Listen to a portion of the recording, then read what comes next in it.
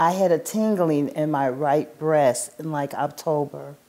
And I called my doctor and told her, and she said, Well, you have a mammogram coming in December, so we'll take care of it then.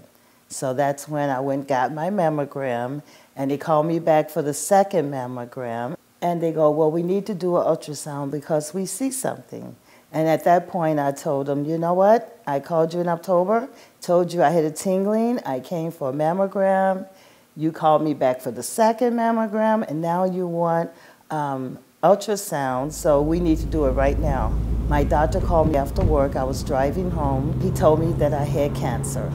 I was like backed up against the wall. You know, I'm going like, Jesus, why me? When I got home, the first thing I did was ran upstairs and told my husband I had cancer. He looked at me and he said, we're in this together. They did a lumpectomy, and right after the lumpectomy, I had chemo, and then after chemo, I had radiation. My doctor said, You know, your husband really fought for you.